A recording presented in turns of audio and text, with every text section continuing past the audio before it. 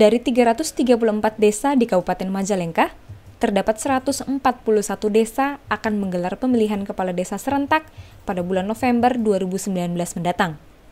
2 November 2019 merupakan pesta rakyat ketiga setelah suksesnya pemilihan kepala desa pada tahun 2016 dan 2017. Pemilihan kepala desa serentak gelombang 3 tahun 2019 ini sudah pada tahap pendaftaran calon ke panitia 11 di masing-masing desa. Di Desa Banjaran, Kecamatan Majalengka, sudah terdapat dua calon pendaftar ingin menjadi kepala desa terpilih.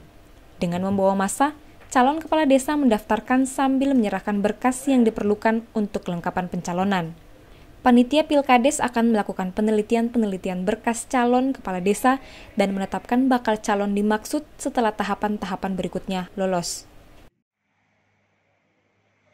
Untuk kesiapan di Kabupaten Majalengka sendiri, perlu kami informasikan bahwa tanggal 2 November 2019 ini akan dilaksanakan Pilkades serentak di Kabupaten Majalengka yang meliputi 141 desa di 26 kecamatan.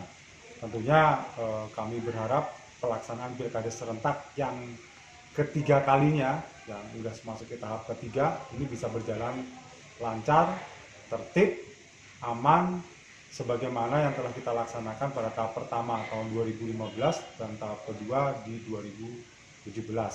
Alhamdulillah kalau masalah pencalonan sudah berjalan dengan lancar seperti apa yang diharapkan sesuai dengan tahapan dan sampai pada hari ini kami sudah menerima dua pendaftar ya.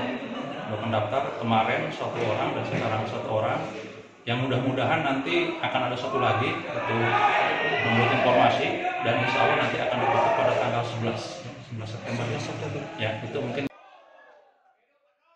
Dari Majalengka Jawa Barat Edward Ruspendi Tribrata TV Salam Tribrata.